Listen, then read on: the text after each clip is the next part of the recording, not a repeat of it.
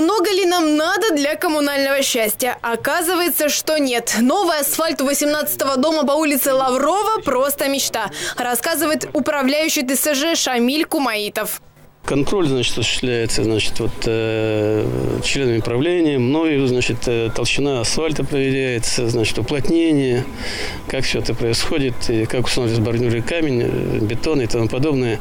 Мы все это контролируем. Претензий пока никаких нет.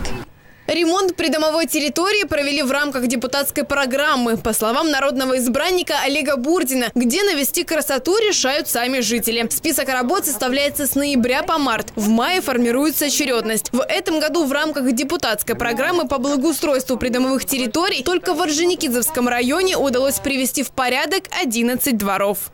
Программа по благоустройству предусматривает не только асфальтирование придомовых территорий, но и кронирование деревьев, освещение, значит, и газоны, оборудование, и э, различные конструкции ограждающего характера. Поэтому программа очень востребована. В год дорожного ремонта во всех районах Перми активно ведутся работы. Ремонтируются как придомовые территории, так и дороги общего пользования. В Орджоникидзевском самым большим объектом стал Восточный обход. 20 тысяч квадратных метров нового дорожного дорожного полотна стоимостью в 26 миллионов рублей. Решается такая проблема, как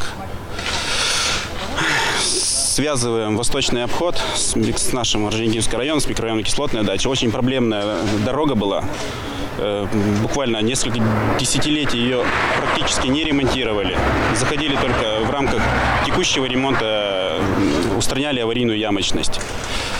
Давно напрашивался вот такой вот полноценный ремонт.